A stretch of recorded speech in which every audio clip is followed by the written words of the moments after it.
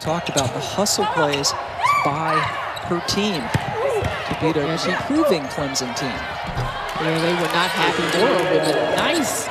Definitely need to slow down, work through their offense, and work through their options. Not turn the ball over. And also, they need to get on the glass. That's been a challenge as well.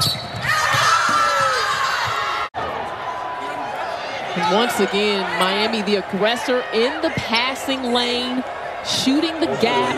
Miami had gone over six minutes without scoring going back to the second quarter. And now with three on the other side, that splashes home.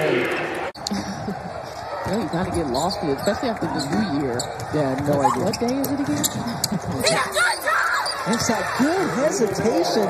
Things down for Wake. The clock is their friend right about now. You got to think they're looking for Ivana Raca in the half court here. And Miami is slow to recognize Raca. She has been terrific here in the second half. Now Marshall hits a huge three. Getting it over to Marshall. They're going to kick it out. Banks to tie it off the back rim.